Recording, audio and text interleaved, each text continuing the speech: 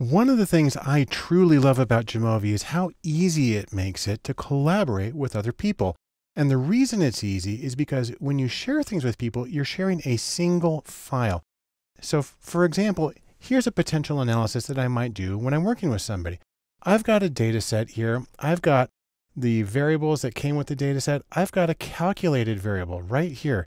You see the formula. I've got a descriptive analysis. Let me scoot this over a little bit. I've got descriptive statistics. I've got tables. I've got charts and box plots and all of this.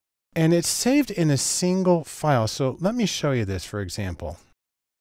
All of this is saved in a single file that I've got called sharingfiles.omv, where .omv is the Jamovi extension.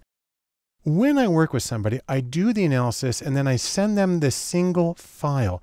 And I tell them, download Jamovi, double click on this, and you'll open up right to where we were. And they'll have all of the data, all of the calculations, all of the transformations, all of the analyses. They'll have everything in one self contained unit.